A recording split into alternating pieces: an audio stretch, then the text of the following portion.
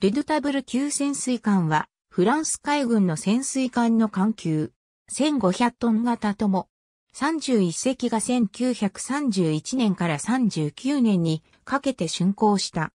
アジャクス第一次世界大戦後最初に建造されたルカン級は操縦性と速力に問題があったため、これを改善するために排水量を5割近く増大した艦を1924年度計画にて2隻建造した。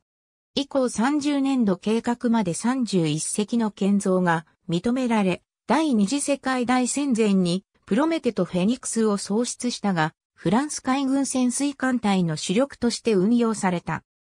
初期は、主機の出力6000馬力、水上速力17キロトンであったが、28から29年度計画艦は7200馬力、19キロトンに、30年度計画艦はさらに8600馬力、20キロトンまで向上しており、先行には多少時間を要したものの使いやすく信頼性の高い艦であった。また1941年以降にバラストタンクの一部を燃料タンクに改造して航続距離を増大させたり、対空並走が強化されたものもあった。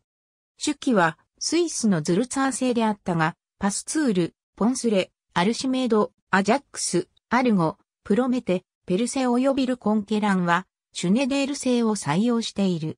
先行時は2250馬力のアルストム製、電動モーターで10キロトンで推進した。拡大改良型のロランモリロ級潜水艦8隻の建造が計画されるも未成に終わった。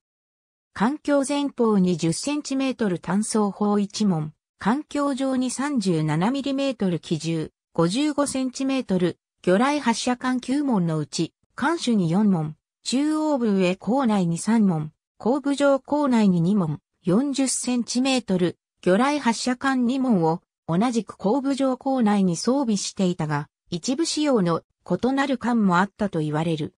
クロード・ピカール、レスス、メリンズで1500トンズ、レンヌ、マリーンスエディションズ 2006P23、アクセル・アブルケア、レスース、マリン・アーカメデイ、1932から1952、レンヌ、マリーンス・アディションス 2010P8。ありがとうございます。